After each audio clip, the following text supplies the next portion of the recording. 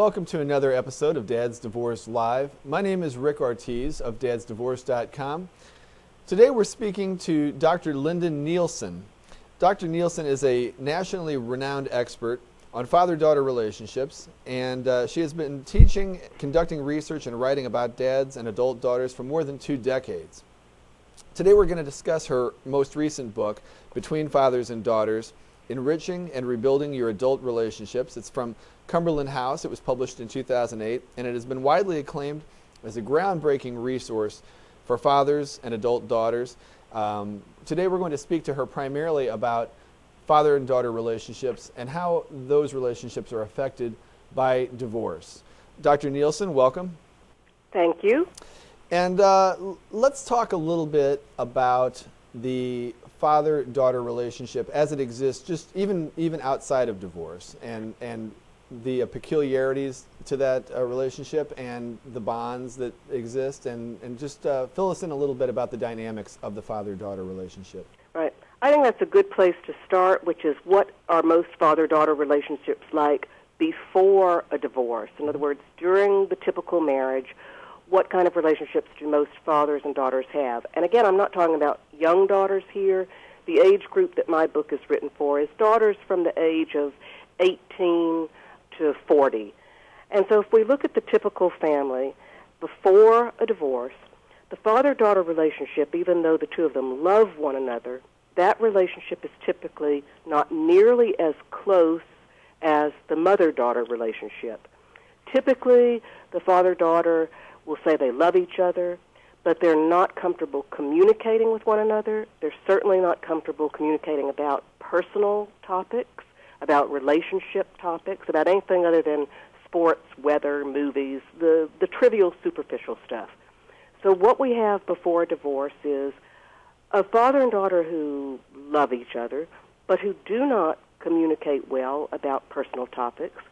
Then we have the mother daughter relationship, which in many ways is working against that father daughter relationship in that the two women are typically more closely bonded than the father and the daughter are.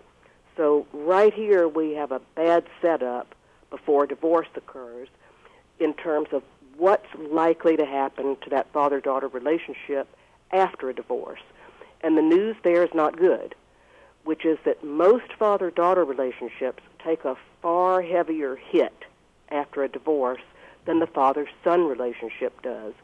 So if you're a dad, either a divorced dad or a headed for divorce dad, the signs along the road are telling you that the child that you most have to worry about in terms of the relationship with your children, the child that you most have to worry about having damage control or damage to that relationship is your daughter, not your son.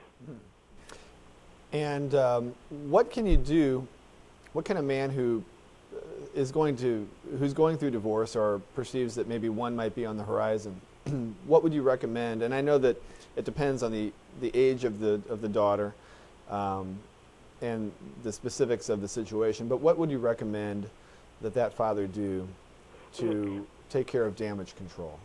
A father can start this uh, these kind of conversations and these uh, suggestions I'm going to give you. You can start this with a daughter who's as young as 14. Mm-hmm. Depends on her maturity level.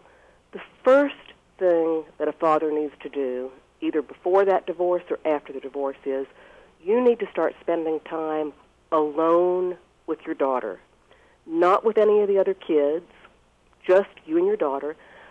Goodness sakes, not with your daughter and any woman that you're dating, all right?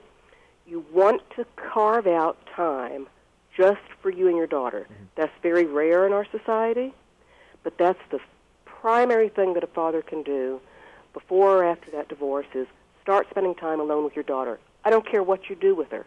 The activity's not important. What's important is that the two of you get comfortable just hanging out together. Nobody else with you. And by that I mean, by hanging out together, I don't mean you go to a sports event and sit there with 3,000 people and stare at a football field.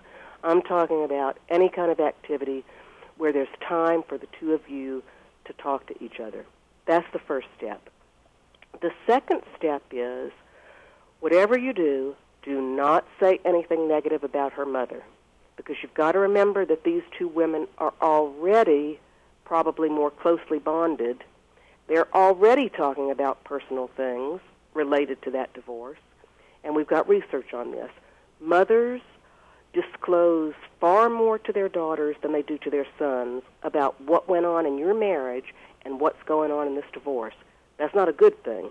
That's a really bad thing for the moms to do. But the mother typically is going to dump all that stuff on the daughter, not on the son. You, as a father, don't follow suit, okay? Don't disclose anything negative about your ex wife to your daughter. I know that's hard to do but you're going to lose that game. Mm-hmm. What you can do as you start to build more meaningful conversations with your daughter is ask her if she has any questions that she wants to ask about the divorce. Let her know that you're willing to discuss those things, but let her take the first step in asking you. At least let her know that you're willing to talk about what happened. That's the major mistake most fathers make they they want to show the daughter that they're frustrated and they're angry and but don't go there. Let her see the heartbreak that's there. That's the way to open the door.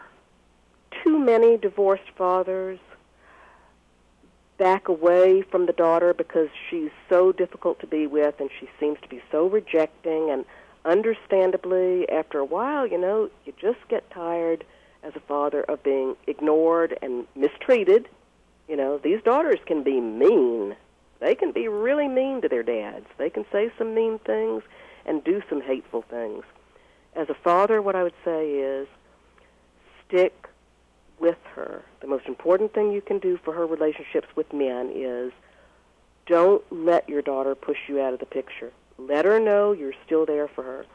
This way, you're sending her the message She's loved by you, regardless of how she treats you, you're still there for her. That's the message you need to send her that will help her with her future relationships with men.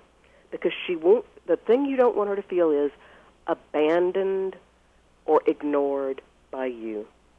That's when she's going to go off doing all these goofy things in relationships with men because she feels abandoned or ignored by her own father that's what you need to give her. Well, I think that's a great place to stop for today. And uh, Dr. Nielsen, I want to thank you for joining us on Dad's Divorce Live. You're so welcome. Dr. Linda Nielsen, her most uh, recent book is Between Fathers and Daughters Enriching and Rebuilding Your Adult Relationships. And we're going to have a link on our site where you can find that book. And it's a must read for any father of daughters who's going through divorce, or uh, even if you're not going through divorce. Thank you, Dr. Nielsen. You're so welcome. Mm-hmm. Bye bye. And we want to thank you for tuning in to Dad's Divorce Live on dadsdivorce.com. I'm Rick Ortiz, and I want to remind you that you can see a full version of this video cast as a podcast by clicking on podcasts on the left hand side of our screen. Thank you.